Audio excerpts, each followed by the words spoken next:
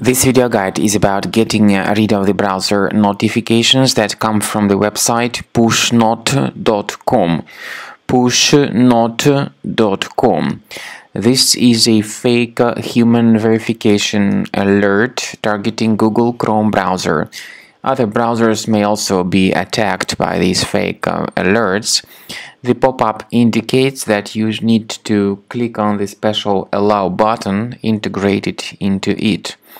However, remember that clicking on Allow is surely a serious mistake because in this case um, your browser may be hijacked with uh, multiple advertisements that will be displayed as random push notifications.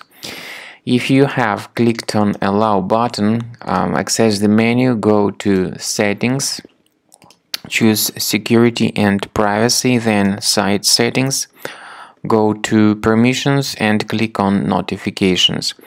Pay attention to the sites allowed to send notifications. Remove any of these malicious websites from the list.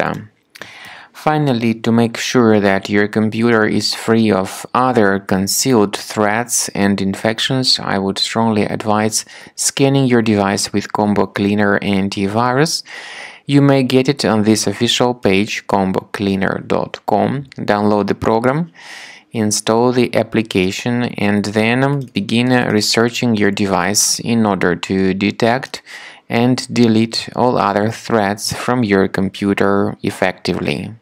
After you have successfully downloaded and installed uh, Combo Cleaner antivirus, it will be in the trial mode, so only the quick scan option is available. Click on Start Scan button. The program will uh, first of all update its uh, antivirus database uh, for proper malware detection and elimination. You will notice that most likely the program will start identifying certain threats on your computer.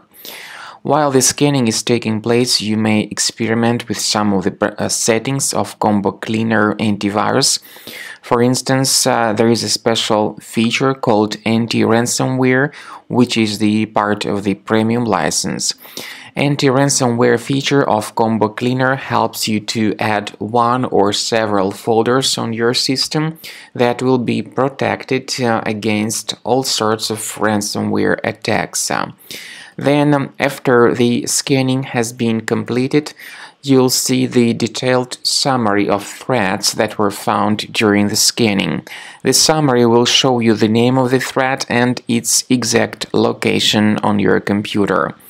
You'll be able to remove each threat manually by going to these locations, or you may consider upgrading to the premium license to remove these threats automatically.